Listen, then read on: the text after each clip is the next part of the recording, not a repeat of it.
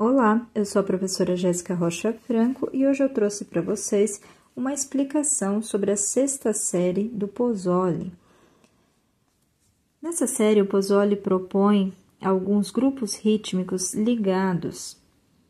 Eu sempre aconselho os alunos, quando estão com dúvidas sobre figuras rítmicas ligadas, a primeiro desligar essas figuras o próprio método do Pozzoli já vai dar essa explicação com as figuras desligadas, para que vocês entendam quais tempos e partes de tempos estão sendo somadas.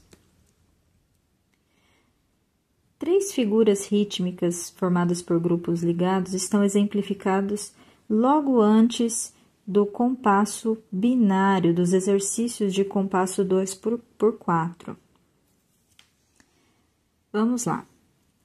O primeiro grupo eu vou executar repetidas vezes. É formado por uma semínima ligada a uma colcheia e logo em seguida vem outra colcheia. Vamos lá? Um, dois, tá, tá, tá, tá, tá, tá, tá, tá. Esse grupo rítmico, ele corresponde a uma semínima pontuada seguida por uma colcheia. Tá legal? Mas o exercício aqui propõe que vocês saibam ler, que vocês se acostumem com a leitura das figuras ligadas. Vamos ver o segundo grupo. É formado por uma semínima ligada a uma colcheia e logo em seguida vem duas semicolcheias.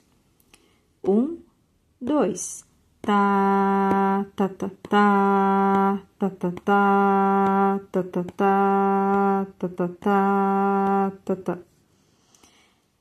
Esse grupo rítmico corresponde a uma semínima pontuada seguida por duas semicolcheias. Tá legal? Vamos ver o próximo. É formado por uma semínima ligada a uma colcheia pontuada e logo em seguida vem uma semicolcheia. Isso corresponde a uma semínima com dois pontos de aumento e uma semicolcheia. Vamos ver repetidas vezes como isso fica. Um, dois. Tá, tá, tá, tá, tá, tá, tá, tá. Tá legal? Agora vamos ouvir a execução em voz alta dos exercícios de compasso 2 por 4. Lembrando, para quem assistiu os vídeos anteriores, que eu gosto de falar as pausas, falar tanto as pausas de tempo completo quanto aquelas que começam na cabeça do tempo ou que estão no final do tempo, para que os alunos internalizem melhor a localização desses tempos. Mas é importante que vocês saibam executar esse, esses exercícios rítmicos e também reconhecer os exercícios rítmicos em ditado, seja com a pausa sendo falada pelo professor ou professora, ou sem falar as pausas, apenas com o silêncio. Tá legal? Vamos lá. Um, dois.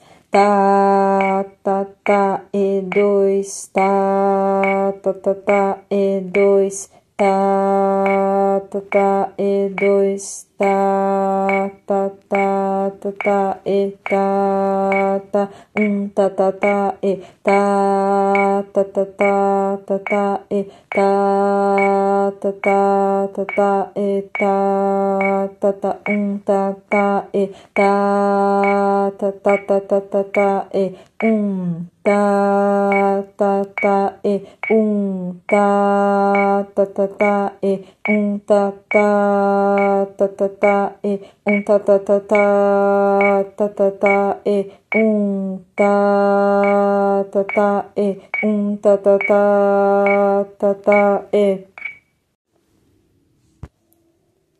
Não se esqueçam da importância de estudar com o metrônomo.